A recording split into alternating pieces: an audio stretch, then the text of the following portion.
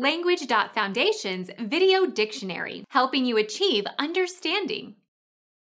A city in the Asian part of Russia. Become our student and get access to effective and free educational materials. Subscribe to our channel to become a part of our growing community and to learn English effectively.